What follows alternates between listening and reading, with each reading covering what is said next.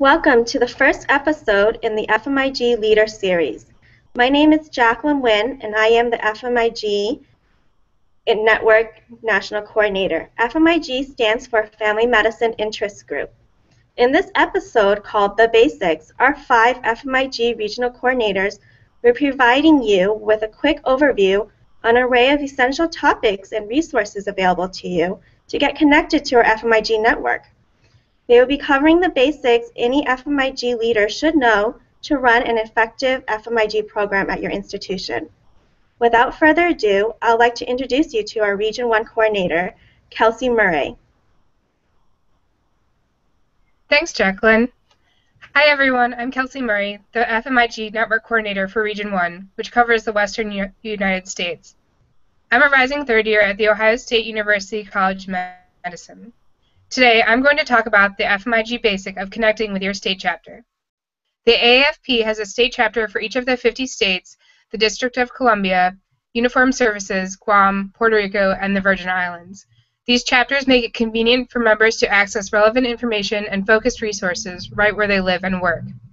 As a reminder, student membership in the AAFP is free for students at accredited medical schools, and once you are a national member, you automatically belong to your state chapter. You can search for more information on your state chapter IFP website. Chapters have benefits including networking, education, mentoring, and leadership opportunities. They also help advance the specialty of family medicine by advocating to local and state legislators. As students, state chapters can also give scholarships to students to attend national conference or other family medicine events, host regional, state, or multi-state resources in lo your local area, and mentorship, and allow for student leadership at state level on chapter committees.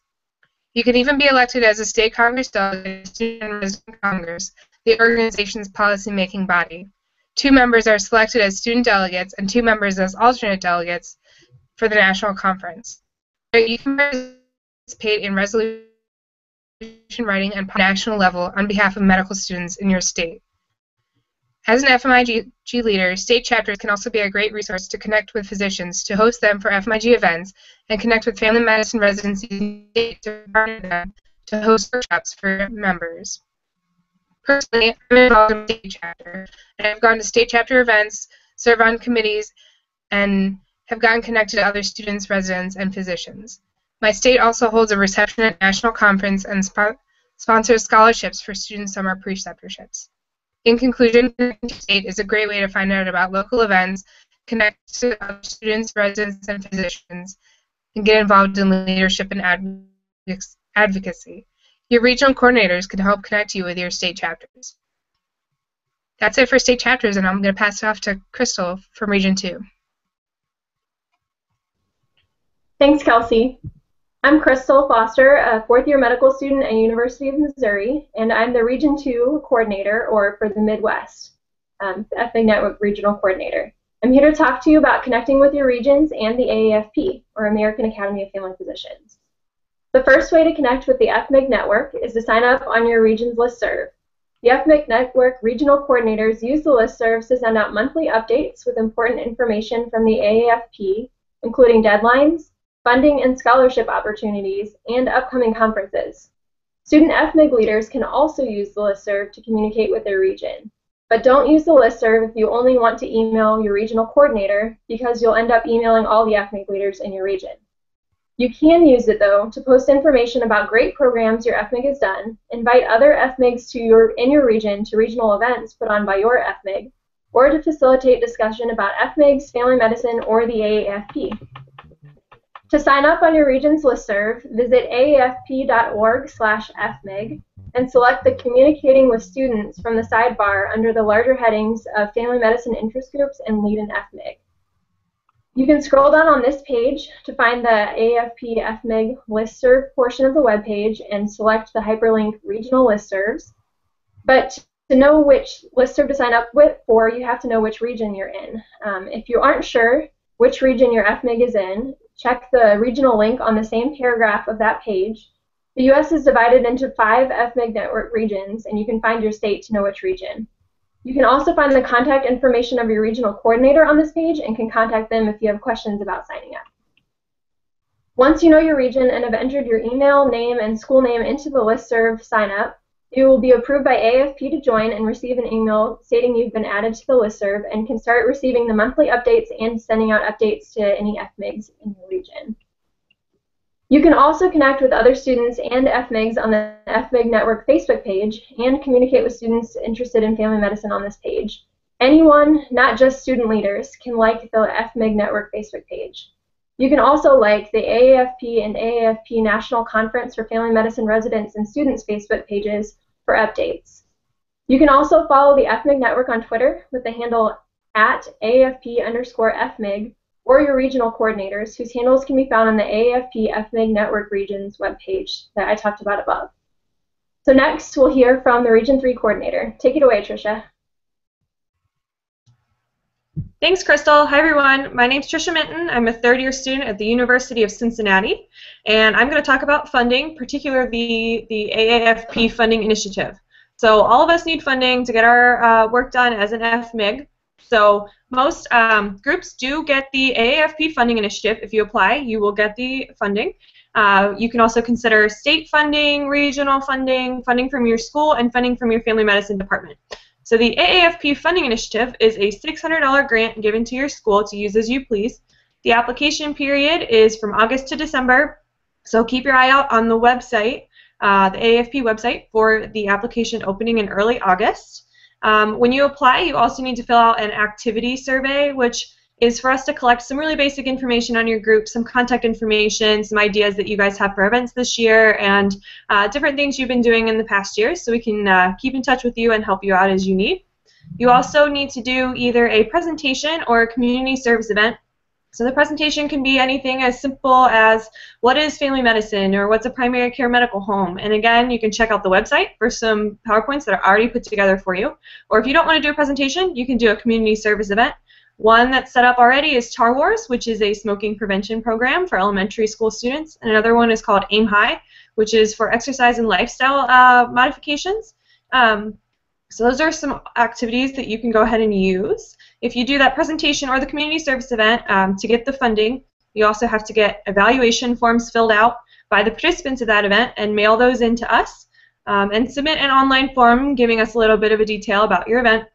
And then lastly, at the end of the school year, due at the end of May, is a community service survey that we ask you to do about different things that you've done during the year. So it sounds pretty complicated, but there's a step-by-step outline on the website, and it's definitely worth it, definitely worth the funding, and if you put the effort in, you'll get the money from the AFP and the AFP Foundation. So we really hope that you do that. Um, and that's all I've got, so I'm going to go ahead and pass it on to Megan in Region 4. Thanks, Trisha. Um, I wanted to introduce you guys to the website. Um, if you if you Google AAFP FMIG, it'll bring you to a page that has all the all the great resources for starting an FMIG or taking over as a new leader. Uh, there's links on this page for how to start an FMIG at your school or and also for setting up leadership structure and developing goals and mission statements. There's also a link for funding, both the stu- both the funding available from the AAFP as well as from your state chapter and other funding resources. There is a link for programming ideas as well as some of the pre-set up programs that are available for things like lunch talks, clinical skills labs, social programs, and community service. There is a link for how to communicate with other students at schools near you, as well as other groups around um, around your medical school, like SNMA and AMSA. Um, and then there's also a link for various brochures and handouts that you can use to both promote your FMIG as well as promote family medicine to your fellow students.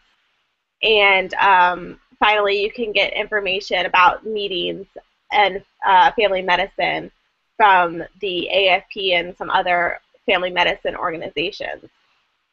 Um, that's the resources that are, are on the AFP website for uh, FMIGs, but there's also a lot of great resources just for medical students in general, such as um, just learning about family medicine, like the patient-centered medical home and um, things like that.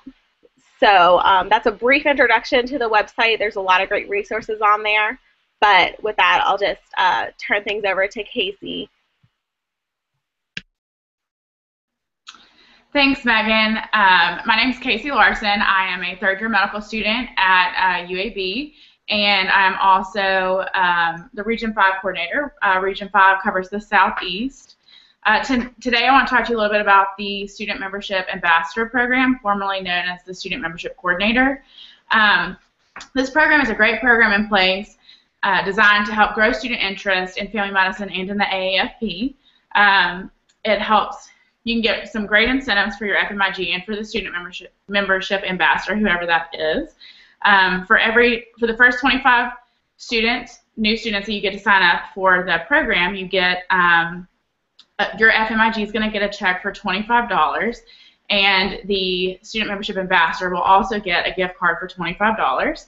Uh, it increases to 50 when you get 50 membership, uh, 50 new memberships, 75, etc. Um, and every time your FMIG hits a new member incentive, then the student membership coordinator gets a $25 gift card.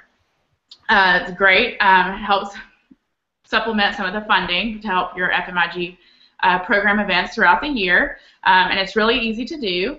Uh, to qualify to be a um, to, qualify to be the student membership ambassador, you need to make sure that you're a student member of the AAFP.